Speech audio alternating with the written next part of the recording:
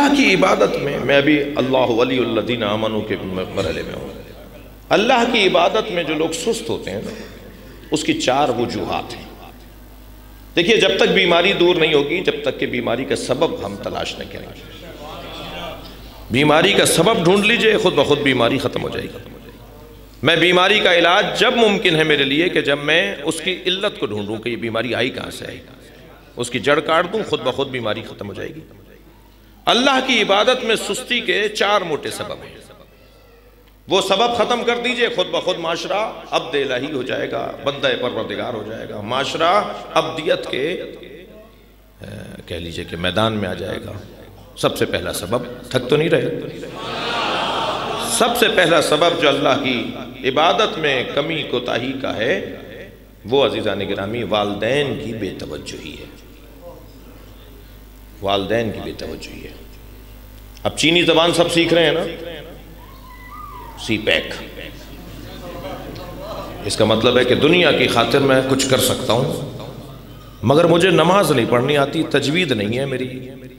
मुझे सूर्य अलहम सही नहीं पढ़नी आती। जिसका खबर में मुझसे पूछा जाएगा, उसके बारे में मैं तवज्जो नहीं कर रहा, मगर मैं चीनी जबान सीख रहा हूँ, इसलिए चार पैसे मिलेंगे। वालदेन की भी तवज्जो ही है। वालदेन नहीं ख्याल कर रहे। ओ लेवल और ए लेवल्स के लिए पाँच पाँच, दस दस हज़ार रुपए का एक सब्जेक्ट पढ़ाने के लिए ट्यूशन के पैसे दे रहे हैं। मगर मौलाना को पाँच सौ रुपए देते हुए चार दफ़ा कहते हैं, कल दे देंगे। जो कुरान पढ़ाने आते हैं ना मौलाना, उन्हें कहते हैं, कल दे देंगे, परसों दे देंगे। वो बेचारा चार दफ़ा मांगने के बाद फिर मांगेगा भी नहीं। मगर ऐसा भी है कि वो फिर आइंदा दिल से पढ़ाएगा भी नहीं। एक साहब मुझसे कहने लगे, हमारे यहाँ कुरान के कारी नहीं मिलते। मैंने कहा, इसलिए नहीं मिलते कि हमारी तवज्जो नहीं है। अभी आप ऐलान कर दीजिए कि हर कारी कुरान को, हर मुदरसर कुरान को एक बच्चा पढ़ाने पर पाँच हज़ार रुपये हदिया दिया जाएगा। शायद हर गली में, हर घर में हमें कारी कुरान मिल जाए। जी, निज़ाम है ना अल्लाह का। पेट लगा हुआ है ना। बिजली, पानी, गैस का बिल आता है ना। गाड़ियों का खर्चा होता है ना। एक जगह हम गए, वो एक साहब लिफाफा देने लगे। कहने लगे, जी, मौलाना है हजरतुल इस्लाम है लिफाफा क्यों दे रहे हो? मैंने कहा, भाई, ये तो हजरतुल इस्लाम है, इनकी गाड़ी तो फ्यूल, इनकी गाड़ी तो पेट्रोल खाती है। इनकी कार हजरतुल इस्लाम थोड़ी है।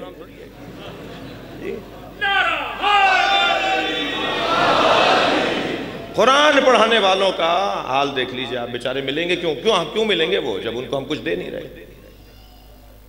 वालदेन की बेतवज्जो ही है तो कुछ तलख बातें। अगर लग रही हो तो मुझे कुछ देर को माफ़ कर दीजिएगा। वालदेन की बेतवज्जो ही वालदेन की बेतवज्जो ही है, जिसकी वजह से अल्लाह की इबादत में कमी है। दूसरा सबब बताऊँ? अजीज़ा ने ग्रामी, दूसरा सबब ना आगाही और अदम इल्म। है अल्लाह की मारफत की कमी है, इबादतों के फ़ायदे की कमी है। यानी फायदों को नहीं जानते। नमाज़ का क्या फ़ायदा है, रोज़े का क्या फ़ायदा है, हज का क्या फ़ायदा है? मालूमात नहीं है। जब मालूम बढ़ती है तो शौक बढ़ने लगता है। दूसरा सबब, अल्लाह की मारफत। अगर मुझे कोई कहना कि भाई आप जरा अपने चेहरे को तो देखिए, चार, छह करोड़ रुपए का तो चेहरा है।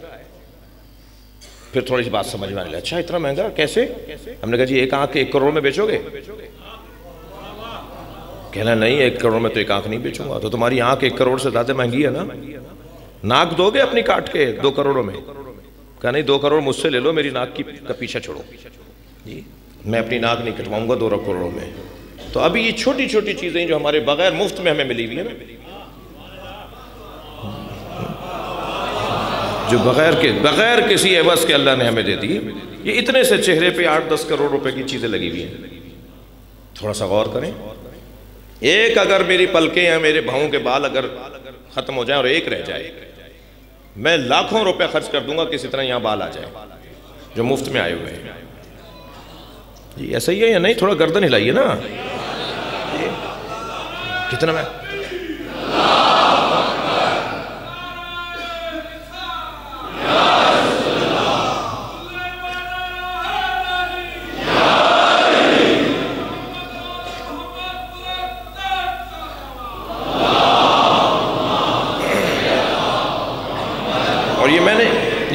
कह रहा कुरान कह रहा सनोरी हिमायात ना फिलाफाक वफ़ी अनफुसम तुम अपने ऊपर गौर करो, हमने तुम्हें क्या क्या दिया हुआ है। मैं सिर्फ़ अपने ऊपर गौर करूँ तो अरबों, खरबों रुपए का तो ये मुफ़्त में अल्लाह ने बदन दिया हुआ है। हक नहीं बनता उसका कि उसका शुक्रिया अदा किया जाए। उसके सामने हाजिरी दे दी जाए, उसका हक नहीं बनता। जी। और ये तो वो नेमतें हैं अजीजा ने ग्रामी के जो मुझे नज़र आ रही हैं, जो सामने की हैं, रोज़ाना देख रहा हूँ। मुझे तो सबसे बड़ी नेमत की वजह से अल्लाह का शुक्र अदा करना चाहिए, वो नेमत उजमा इलाहिया विलायत अली है।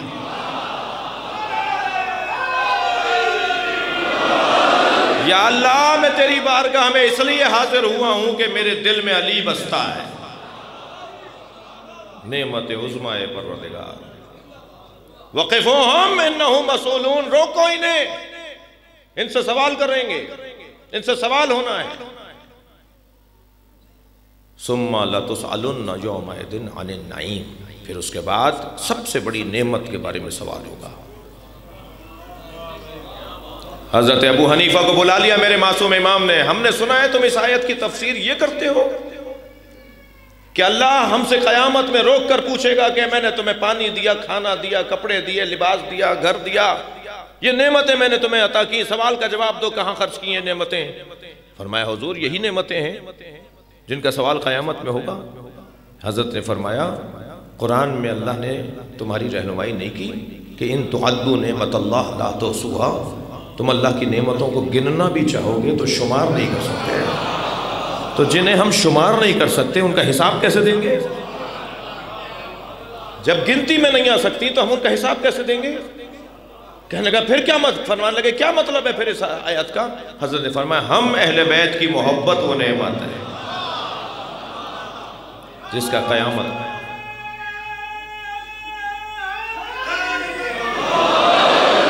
जिसका कयामत में सवाल होगा, हमने तुम्हें मोहब्बत अहले बैत दी। ये सबसे बड़ी नेमत है। वत करो नेमत अल्लाह अलैकुम, अल्लाह की एक नेमत को बार बार दोहराओ। वो एक नेमत कौन सी है भाई? या अल्लाह तू खुद बता दे, वो एक नेमत कौन सी है? वो नेमत उजमाए विलायत आली है। अली अली का नाम, अली का ज़िक्र बार बार करो, इस नेमत को दोहराते रहो। अजीजान गिरामी, खबरदार, ये बात न करें बार बार के। बार बार अली अली करने से, हर बार अली अली करने से क्या मिल रहा है? नहीं अजीजो, जिन्हें मिल रहा है, उन्हें पता है, जिन्हें नहीं मिल रहा, वो गिला कर रहे हैं। अल्हम्दुलिल्लाह। अल्हम्दुलिल्लाह, मौला अली का ज़िक्र हमें बेहतर इंसान बना रहा है। मैं बात कर चुका हूँ करता हूँ, मुख्तलिफ़ जावियों से, मुख्तलिफ़ पहलुओं से। मौला अली का ज़िक्र हमें अच्छा इंसान बना रहा है। जो अली से वाबस्ता कबीला है ना, उनकी तस्वीर दूसरों से अच्छी है। उनका चेहरा दूसरों से बहुत अच्छा है। दुनिया आज इस बात को मान रही है कि उनका चेहरा दूसरों से बहुत अच्छा है। छप्पन इस्लामी ममालिक में एक ही मुल्क तो है जहाँ अली वलील्ला की आवाज़ आती है। सरकारी सतह पर, रियासती बुनियादों पर। जी, आप देखिए, सारी दुनिया के मुसलमानों में अच्छा चेहरा उन्हीं का है। जी, सबसे अच्छा चेहरा उन्हीं का है। सबसे चेहरा आपका है सबसे अच्छा चेहरा आपका है। जी, हमारी तो चाल बता रही होती है कि अली का चाहने वाला जा रहा है। हमारा होलिया बता रहा होता है, अहले से वाबस्ता है। हमारा रवैया बता रहा होता है मैं अहले से जुड़े हुए मुझे उस मलंग से तो वैसे ही बहुत प्यार है, जो गली कूचों में मौला का नाम लेता है। जी। अल्हम्दुलिल्लाह अल्हम्दुलिल्लाह, आज भी पाकिस्तान की सतह पर, आलमी सतह पर, अगर आप, वज़न करेंगे ना कि कौन ज़्यादा बेहतर मुसलमान है, अल्हम्दुलिल्लाह, अहले बैत से जुड़े हुए लोग ज़्यादा बेहतर मुसलमान और आज ये हमारा, यानी गैर शिया बरदरादरी जो है, वो भी इस बात को मान रही है। लोग इस बात को मानते हैं। मुझसे एक अंग्रेज़ कहने लगा, आप मुसलमान हैं? मैंने कहा, जी। कहने लगे, प्रॉफिट के घर वालों को मानते हैं या दोस्तों को? जी। मैंने कहा, प्रॉफिट के घर वालों प्रॉफिट के दोस्तों का एहतराम करते हैं, मगर पैरवी घर वालों की करते हैं। तो बेसाख्ता कहने लगा हाँ वो जो घर वालों की पैरवी करते हैं ना, वो अच्छे मुसलमान हैं। ये पूरी दुनिया में हमारे बारे में एक राय है गैर मुस्लिमों की।